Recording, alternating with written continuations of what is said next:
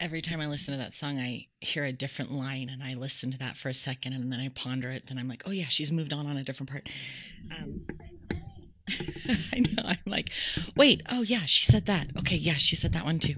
Um, the one that caught me this time was about like if she lets everything in and that she like all of the weighty stuff that's going on in the world. If she lets that in then she's lost the fight because she just is weighted down and can't handle things. And i was like yeah um, that's great for today with the whole uh, theme of energy and the energetic limitless energy of spirit.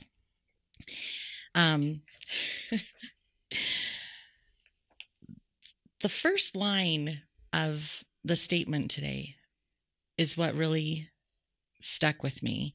And it was the limitless energy of spirit flows through me. And that just kind of was what I have mulled over for the last little while in preparation for this talk. It's been an unbelievable couple of weeks. I've contemplated this topic so many times, knowing that I'd soon have my opportunity to share my thoughts and my inspirations with you guys.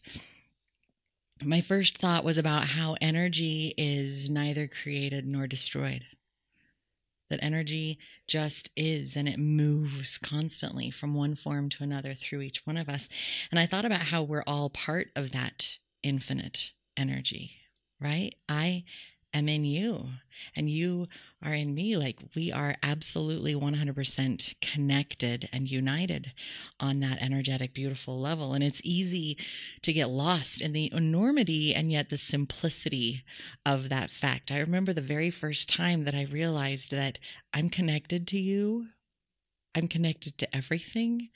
And I was like, that is so cool. And it's so simple and then later it was like wait that is so big and that's mind blowing and i don't know how to deal with that. The the concept of energy was so i don't know simple and difficult at the same time.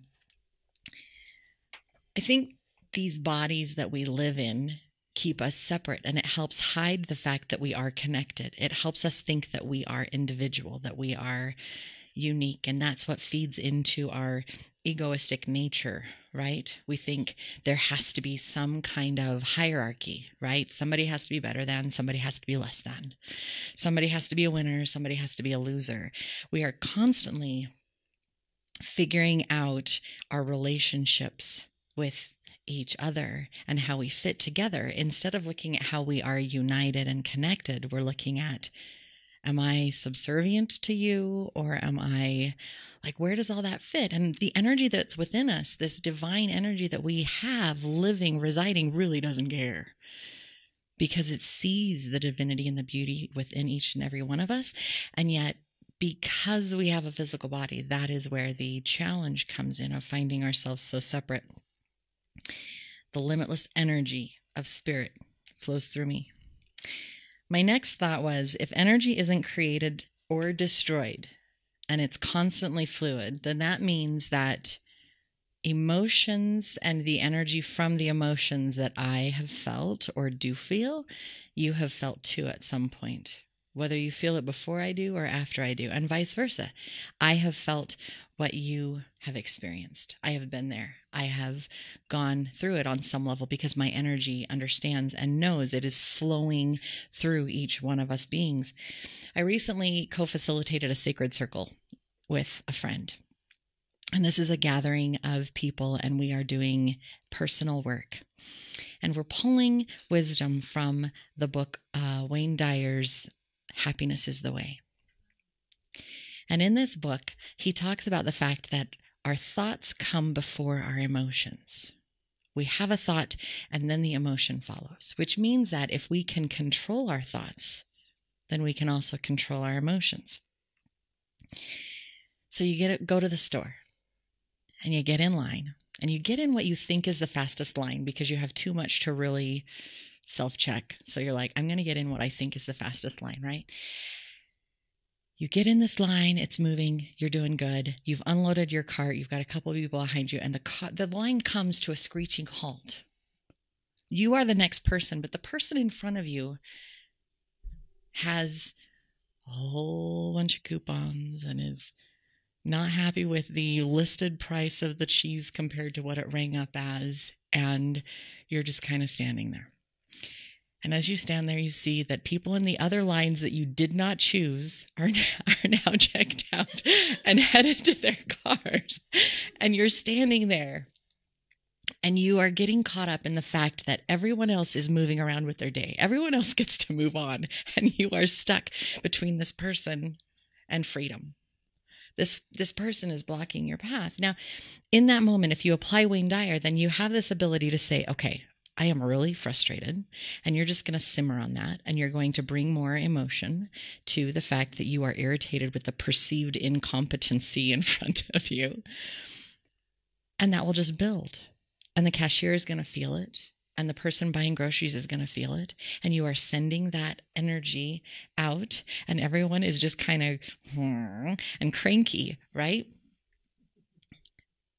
wayne dyer thoughts and emotions okay so if i stop and i recognize that i'm a little irritated because my line's not moving anymore and as a human being i want to be moving i'm going to pause I might initially be annoyed that everybody else is checking out and I'm still stuck here.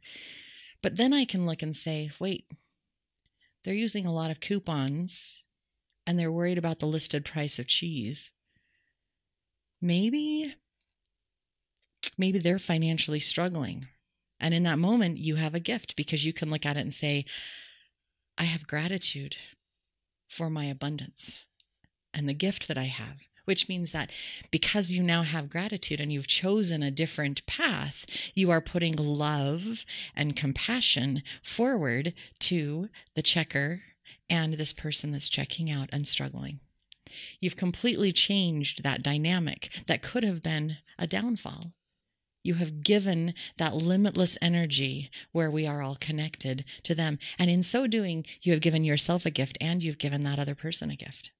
The checker's not as stressed out because you're not standing there ticked off. That person goes to their car and they don't feel as horrible because you didn't care. You may have decided you wanted a candy bar or it was enjoyable to read the tablet, whatever it is that you decided to do. And you get to leave feeling a little more energetic because you gave energy, you gave love, you gave compassion to that person in front of you. Applying the ability to change our thoughts and control our emotions means that I can fuel everyone around me with whatever energy I choose to embody, whatever energy I choose to let flow with me, flow through me. I get to use the divine energy to bless others. I get to bring about a more pleasing emotional outcome and if we go back to the idea that the emotions that I'm feeling are going to be emotions that you're feeling and emotions that you're feeling, and if I'm standing in line feeling gratitude, how does that change other people's? Will she also feel gratitude because you weren't cranky? Will they also feel gratitude for something else in life? It's a beautiful, simple, simple way for each and every one of us to affect and bless humanity. The limitless energy of spirit flows through me. Have you ever heard the phrase, karma came back and kicked me in the arse? if the energy is flowing through you and you are choosing to send out this stuff, and that energy is going to flow through you. It will flow through other people. Does it not make sense that it's going to come back to you? Does it not make sense that what you put out there will eventually find its way, come positive or negative? If I choose to send out love and kindness and acceptance, what will be returned? The last couple of weeks have been a real challenge for me mentally and emotionally, it has been a whoop de whoop um, doozy. And I'll explain. Years and years and years ago, I decided to dive into family history. And I have been transposing my grandmother's journal. She kept a journal every day of her life from 12 years old on. Honestly. Yeah. So I thought that it would be wonderful and a beautiful gift to transcribe these so that all of my family could have them. Instead of it being in a book that only one person had in their closet, everybody could read it if they wanted to. Now, I was newly married in a beautiful relationship. My kids were in middle school and high school. I was doing really well. I was happy. Life was good in this space and time. And I'm transposing these journals or transcribing them. I'm doing my thing. And for some reason, I was feeling a little emotional and a little down, and I couldn't really understand or explain why. There wasn't really any reason why. At this time, I was also doing a whole bunch of new spiritual work. And I had just realized that those voices that I had heard for so many years were actually my spirit guides saying, Hey, let us help you. and I was listening to them and I was letting them guide me and lead me in the best paths possible. And it was so beautiful and such a wonderful opportunity for me in my life. And it was a gift, right? Well, through this, I realized that my grandmother ended the majority of her entries of her journal with I am worn and weary. I am depressed. I am lonely. I was taking the emotion, the energy that my grandmother had and she had put into these journals, and they were becoming a part of me because I was typing this. Now, recently I decided to pick these journals back up, recognizing that this was something that might happen, recognizing that grandma had this thing and that's okay and that's all right. And I'm going to put boundaries up and I'm going to protect myself, acknowledging that this is my, my grandmother's experience, not mine. Right? Because there are some things coming up in her life that I know about, and I'm really hopeful and excited that perhaps things will turn around and she'll be a little more joyous and energetic in her life. And I want to see that and I want to be a part of that. So I want to go there, but I also want to protect myself with the taking on and rewriting that over and over again. So I've recently picked that up. I've been typing. And then my mom, I am the caregiver for my mom, and she's recently taken a bit of a turn. And so we are talking about palliative care for her these two things coming together created an emotional whirlwind of a challenge for me.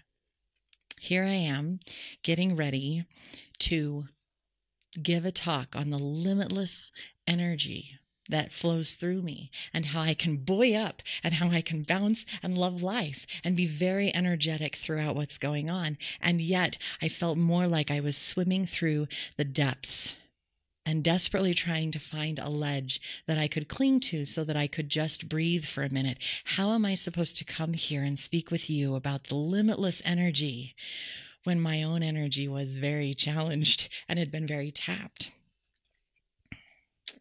When I think of the energy, um, of spirit. My brain really, really, really wants to go to this very beautiful, light-hearted, um, uplifting, joyous energy this gift. And I think that that's absolutely correct and that's true. But with that concept and with my challenges, I was feeling, like I said, very inadequate coming and talking to you today. But several little nuggets of wisdom came through in the last couple of weeks. And I want to share some of them with you because they make me smile and it's just great. Some of these nuggets of wisdom are actually things that I have said that have come back at me. Have you ever had that happen? you say it, it comes back, just like karma. You do it, it comes right back at you. Um, one of them was if you're feeling down and lacking energy, go do something. It may sound counterintuitive to get up off the couch and go do something. And yet, when you do it, you have more. Like energy begets energy, and you feel a little bit better. Um, find gratitude, and the sadness will be lessened. The weight will be lighter. My husband has asked me this. I have asked him this. We've asked other people this. When somebody is talking to me and they're down and they're really having a rough day, the question is So, what good happened today? What positive thing is there? How can we shift that energy from this really sucks to something better? You're embracing that energy that is available and coming through you and choosing to do something different. What actions or self care can you do to turn this around? What will bring you joy right now, and how can you apply that immediately? So, my own words are coming back to me, and then I receive even more notes from this inspirational calendar that I got for Christmas. And um, one of them is uh, life is 10% of what happens to you and 90% of how you react to it. Isn't that really good? Life is 10% of what happens. This is life is going to happen. Life is going to life. That's just the way it is. 90% of that is how you react to it. Where do you go with that? What emotion, what meaning do you apply to it? What energy do you choose to say, this is what it is? This is where it's going to go. At one point, I just thought, how am I? I just, I can't do it. It's impossible. Audrey Hepburn came in and she said, Nothing is impossible. The word itself is I'm possible. Isn't that a good line? Audrey Hepburn, nothing is impossible. The word itself says, I'm possible. Then Serena Williams comes in and she says, A champion is defined not by their wins, but how they deal with their losses. Every one of us trips and falls. Every one of us has a challenge. Every one of us has to deal with a loved one, a challenge in the middle of the night. And how do we deal with that? Right? How do we work through it?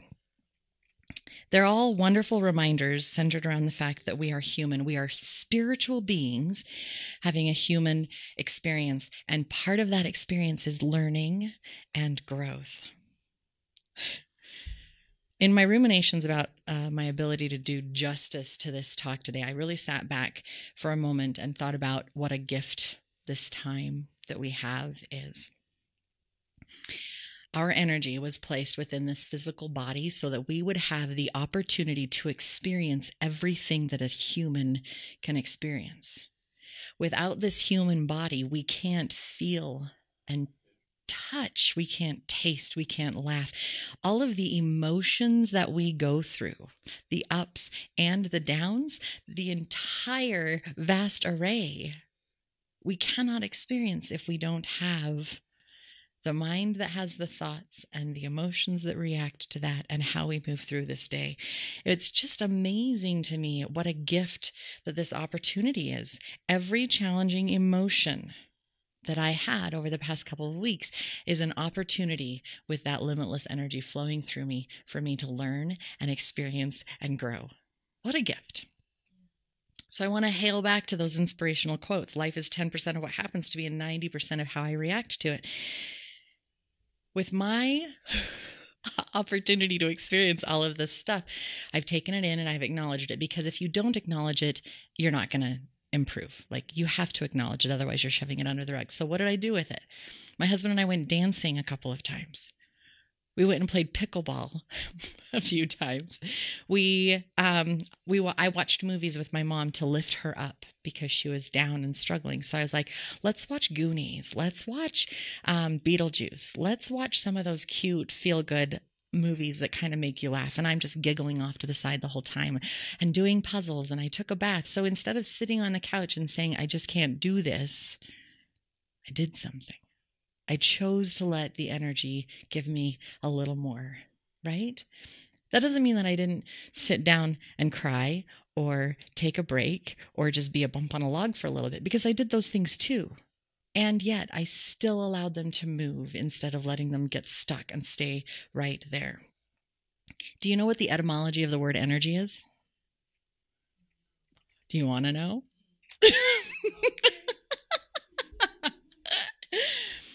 Energy comes from Greek. En is in or within.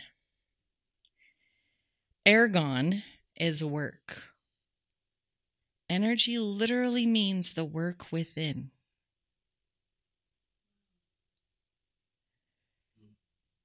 Right? Think about it. When you t- when you take that opening statement and you say, "The limitless energy of spirit flows through me." And you apply the meaning, the limitless inner work of spirit flows through me. We are spiritual beings having a human experience. We are constantly learning. We have inner work to do all the time. Right? Always. We have that choice. We have that conscious, intentional action behind what comes through. We are here to learn and grow, to love and improve from infancy through adulthood to our physical end and release of this housed energy. We're learning to do the inner work necessary to be the best humans that we can be. I don't have to be happy go lucky and bouncing around all of the time. None of us do. I don't have to smile through my tears because sometimes I just need to ugly cry. and that's okay. The fact that I allow myself to cry, the fact that I allow myself that break, is the fact that I am doing inner work, that I am choosing to process, that I am choosing to let that energy flow. If I don't do anything, if I hadn't gone and played pickleball, if I hadn't gone dancing with my husband, if I hadn't done a puzzle and moved the energy, then I would be stuck. The energy flows through me. Uh, where am I at? I don't know. Flow. See, it flew. It it flowed right through me, and then I'm. Um, uh, Serena Williams, back to her statement of being defined not by your wins, but how you recover when you fall. We are all going to fall. Even the happy go luckiest person in the world is going to trip and be challenged in life. You don't know joy if you haven't experienced the other side of that coin. There is no way that you can enjoy the up, excited nature of life if you don't know that there is another part of life that is not so happy. Don't let it hold you down. Tap into the energy of spirit. Tie on your tennis shoes or your dancing shoes and say, I acknowledge the human experience I'm having, and instead of sitting on the couch, I'm going to move. I want to share a little side note for you when we went and played pickleball. It was 10 o'clock in the morning yesterday morning. This was just yesterday morning. It's 10 o'clock. And on the one hand, I was still in my pajamas at 9:15. and I really kind of just wanted to curl up on the couch and take another nap at nine o'clock in the morning. But instead, I was like, I know I'm going to feel better I'm consciously making the choice because I know I will feel better if I go and move. So I'm going to go. But what is my intention while I go? And I walked in there. My intention was to have fun and be the kind of person somebody wants to play with. Everything else is a bonus. I don't care about anything else. I know I'm going to laugh. I know I'm going to have a good time. I'm going to go in there and I'm going to have fun every time somebody came on my court, because you're always rotating, which meant that you always had new people, I would make a big announcement to the entire court. Okay, guys, my goal is to have fun. I hope you're on board with that. Anything else is a bonus. They all knew I just wanted to have fun. And I would encourage everyone. If they had a bad shot, I'd say, Hey, you'll get it next time. Don't worry about it. I used their names and lifted them up if they gave a bad sh- a good shot that like I could not get, I was like, "Hey, nice job." Instead of being cranky that they had totally aced past me, right? I chose to be that person even though energetically I was feeling less than. And anytime one of those thoughts came into my head about emotionally and the challenges that I was going through, I said, I see you. I acknowledge you. I'm playing a game right now and I went back to playing my game. The most beautiful thing happened. We finished. We had 11 minutes left or 12 minutes left. And I was like, is anyone going to come on the court to play this last game? And this very tall Amazonian lady comes on and she had been riding with this other woman and the other woman was in this white puffy jacket and she was kind of like okay fine we're playing again so she comes on the court, and I make my announcement I'm here to have fun. Let's have a great time. Everything else is a bonus. And we played. This was that woman's first time playing in a group. And she had had less than enjoyable experiences with other people who were less than thrilled with her beginner status. And as she was getting ready to leave, not realizing they were going to play another game, she was thinking, I don't I don't need this. I don't need this. I'm not going to play. But her friend drags her on the court so they can play one more game. And it's on my court. I'm about having fun. I want to be the person you want to play with. Encouraged her, coached her. Everyone laughed. Everyone had a great time. We encouraged each other when we had a bad shot and when we had a good shot. And when we got off that court, you know what she told me?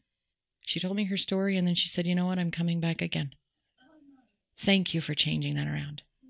The energy flows through me. I had a choice in that moment.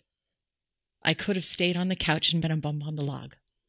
I absolutely could have chosen to stay home, but I chose instead to give myself the energy by choosing to move and let it flow through.